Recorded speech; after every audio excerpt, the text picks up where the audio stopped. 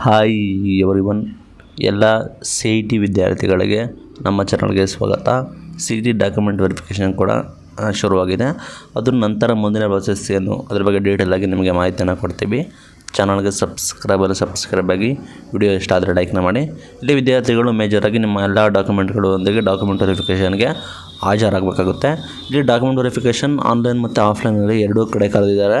ಒಂದು K A office ಬೆಂಗಳೂರಲ್ಲಿ ಕರೆದಿದ್ದಾರೆ.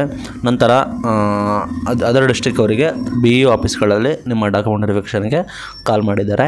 ಇಲ್ಲಿ ಮೇಜರಾಗಿ ವಿದ್ಯಾರ್ಥಿಗಳು ತಮ್ಮ ಡಾಕ್ಯುಮೆಂಟ್ ವೆರಿಫಿಕೇಷನ್ಗೆ ಹಾಜರಾಗಿ ಡಾಕ್ಯುಮೆಂಟ್ ವೆರಿಫಿಕೇಷನ್ನ ಕಂಪ್ಲೀಟ್ ಮಾಡಬೇಕಾಗುತ್ತೆ. ಇನ್ ಕೇಸ್ ವಿದ್ಯಾರ್ಥಿಗಳಿಗೆ ಅದು ಕಂಪ್ಲೀಟ್ ಆಗಿಲ್ಲ ಅಂದರೆ ಲಾಸ್ಟ್ಗೆ ಲಾಸ್ಟ್ ದಿನಾಂಕದಂದು ಮತ್ತೊಮ್ಮೆ ವಿದ್ಯಾರ್ಥಿಗಳಿಗೆ ಚಾನ್ಸಸನ್ನು ಕೊಡ್ತಾರೆ. ಆ ಚಾನ್ಸಸನ್ನು ವಿದ್ಯಾರ್ಥಿಗಳು ಯುಟಿಲೈಸ್ ಮಾಡಿಕೊಂಡು ಡಾಕ್ಯುಮೆಂಟ್ ವೆರಿಫಿಕೇಷನ್ನ ಕಂಪ್ಲೀಟ್ ಮಾಡ್ಕೋಬೇಕಾಗುತ್ತೆ. ನಿಮಗೆ ಡಾಕ್ಯುಮೆಂಟ್ ವೆರಿಫಿಕೇಷನ್ ಕಂಪ್ಲೀಟ್ ಆದ ನಂತರ ನಿಮಗೆ ಒಂದು ಡಾಕ್ಯುಮೆಂಟ್ ವೆರಿಫಿಕೇಷನ್ ಸ್ಲಿಪ್ ಬರುತ್ತೆ. ಆ ಸ್ಲಿಪ್ಪನ್ನು ನಿಮಗೆ ಆಲ್ಮೋಸ್ಟ್ ನಿಮಗೆ ಆನ್ಲೈನಲ್ಲೇ ಲಿಂಕ್ ಜನ್ರೇಟ್ ಮಾಡೋ ಮುಖಾಂತರ ಡೌನ್ಲೋಡ್ ಮಾಡೋದಕ್ಕೆ ಆಪ್ಷನ್ ಕೊಡೋದಕ್ಕೆ ಸಾಧ್ಯತೆ ಇದೆ.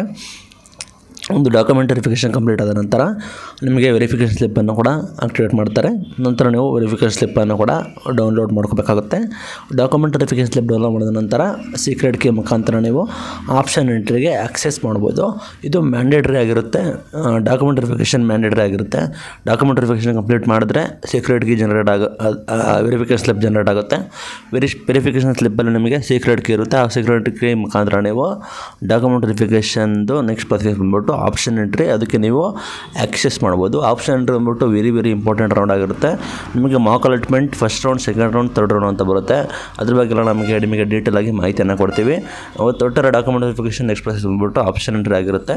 ವೆರಿಫಿಕೇಷನ್ ಸ್ಲಿಪ್ ಬರುತ್ತೆ. ನಂತರ ನೀವು ಆಪ್ಷನ್ ಎಂಟ್ರಿ ಮಾಡಬೇಕಾಗುತ್ತೆ. ಆಮೇಲೆ ಚಾಯ್ಸ್ ಎಂಟ್ರಿ ಮಾಡಬೇಕಾಗುತ್ತೆ. ಇದ್ರ ಬಗ್ಗೆ ಎಲ್ಲ ಮಾಹಿತಿಯನ್ನು ಕೊಡ್ತೀವಿ. ಚಾನಲ್ಗೆ ಸಬ್ಸ್ಕ್ರೈಬ್ ಎಲ್ಲ ಸಬ್ಸ್ಕ್ರೈಬ್ ಆಗಿ ವಿಡಿಯೋ ಇಷ್ಟ ಆದರೆ ಲೈಕ್